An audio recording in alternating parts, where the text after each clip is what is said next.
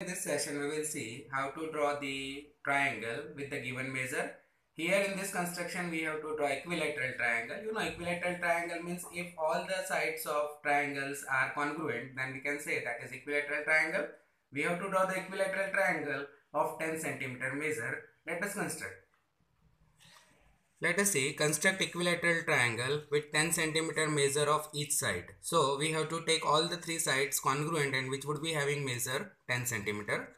For that first of all I will draw the base of the triangle with 10 centimeter measure. Let us see. I will draw it. I'll keep scale here and then here it is 0 so I will take 0 to sorry let me draw it again properly.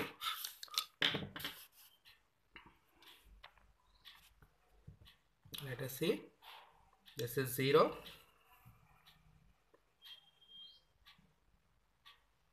and this is 10 centimeter.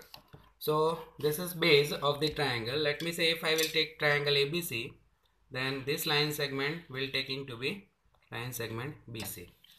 Now I have to take this measure of side AB and AC will be of 10 centimeter. So for that I can take measure of 10 centimeter on the scale from here.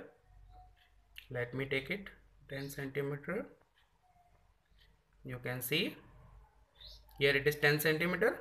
You can see even 0 to 10 right now I'll keep the point on B and I will draw the arc over here.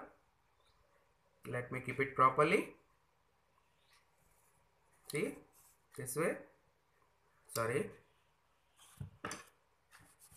I'll keep it properly.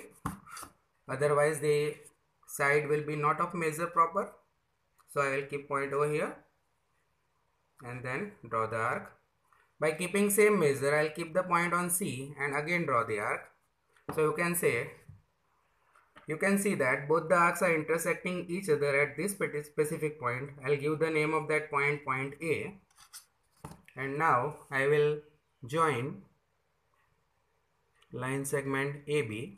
I'll draw the line segment which will joining this two point A and B. Similar way, I will join point A and C. So this will be the line segment AC. Let us see. So this triangle will be having measure as we have already taken. This is 10 centimeter. Here also we have taken 10 10. So this will be also of 10 centimeter measure and this will also be the 10 centimeter measure.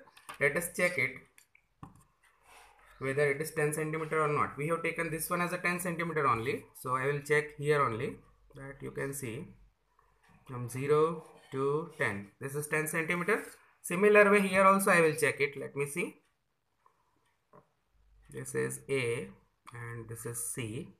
You can see that AC is also of measure 10 centimeter. So I can say that AB is equal to BC is equal to AC will be equal to 10 centimeter. So by that mathematics I can say that AB is congruent to line segment BC is congruent to line segment AC. If all the three sides are congruent to each other, then the triangle is equilateral triangle.